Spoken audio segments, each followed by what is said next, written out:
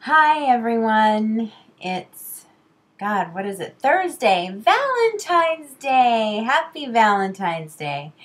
I'm um it's been a while. I know. It has been a long while and I keep promising um, having my sister on a video and all kinds of stuff and she's very bad, very badly behaved when it comes to doing what uh, doing these videos. So, but anyway, I have a couple of things I wanted to show you. This T-shirt that was sent to me, and um, here it is. It says Ms. Cheevious, enjoying every moment.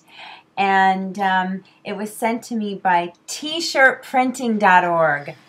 Teeshirtprinting.org. Oh. I'm sorry, but that should be a Ms. Cheevious video. and um, anyway, I uh, I got they sent those to me, and I just promised I would do a shout out, and they were like, "We'll send it to you. You know, just wear it and do a shout out." And so go check out their website.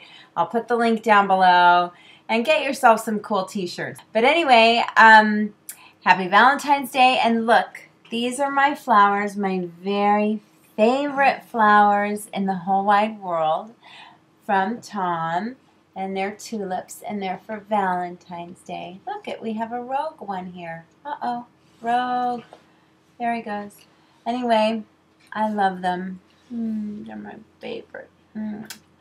Um, also, just to update you guys, Dun, dun, dun, dun. I have lost 6.4 pounds of my 15 pounds. Yay! Ooh, I can't do it. I am very happy. And um, we'll see how I fared this week. I think I may have been a little, I may have even gained a little because I was so happy I lost weight that I just kind of went, forget it. I'm not really on a diet. But so far, 6.4. Yay!